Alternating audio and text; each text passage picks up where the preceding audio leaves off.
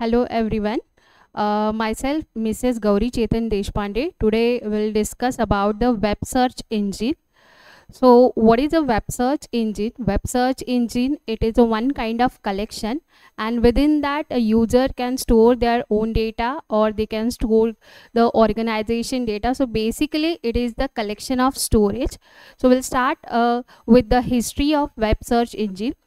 So first basic search engine was created by the three computer science students at the McGill University in 1990 and the uh, name of this tool is nothing but the Archie. So what is the Archie? So in that uh, uh, tool or in that collection uh, that three students stored all kinds of the uh, business files. And uh, these files are uh, used to perform all kind of the commercial application. So basically search engine means what? That consists of some databases some web pages uh, then some news groups and then program some images or some videos or audio. So these are the collection of the uh, any kind of uh, the group or the any kind of uh, uh, engine databases now what is the role of this user uh, in a search engine? Uh, basically user want to search any kind of data in terms of keywords or in terms of phrases. So uh, with the help of that keyword or with the help of that phrases they can find out the data. Now how they can find out the data that keyword or that phrases are matched with your databases. And if both keywords and phrases are matched then we'll get the output. Now for matching this query or for matching this keyword or phrases we need some logical operator. So we need some operator like AND operator or operator or the not operator so basically if you want to find out the uh, data from your search engine then we need some kind of software and that software is nothing but your web crawler.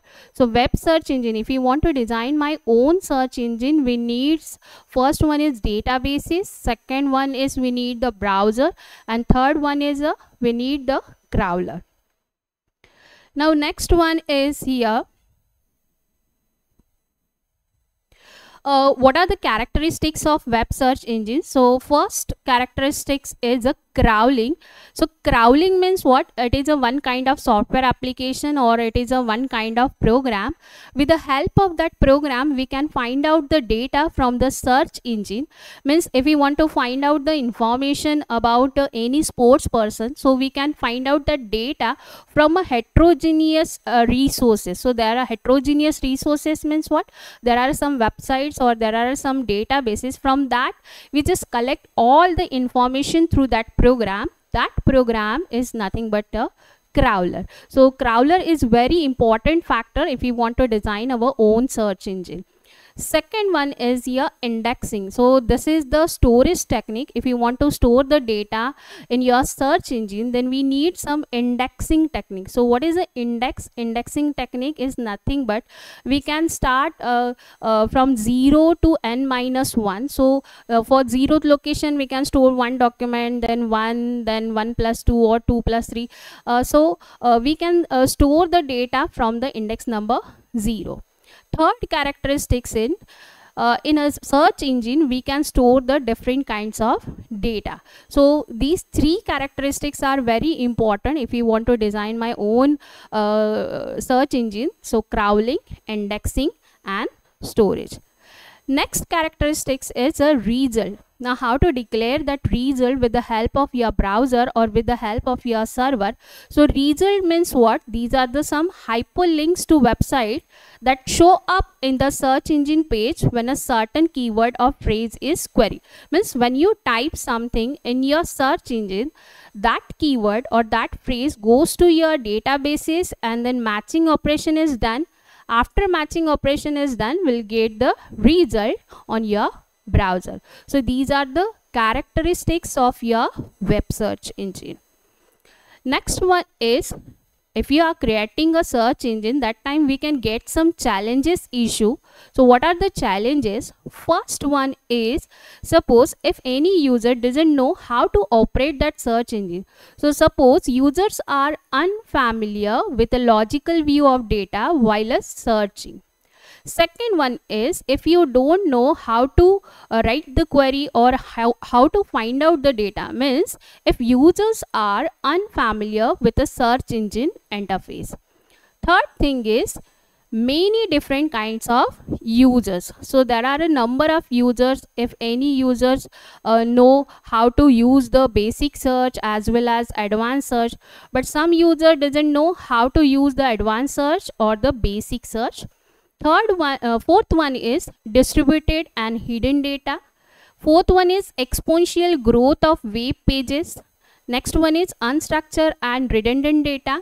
And next one is unedited and volatile data. So these are the challenges issue in web search engine now next topic is web structure. So what is the structure of the web? So basically if we want to design my own search engine then we need a web graph.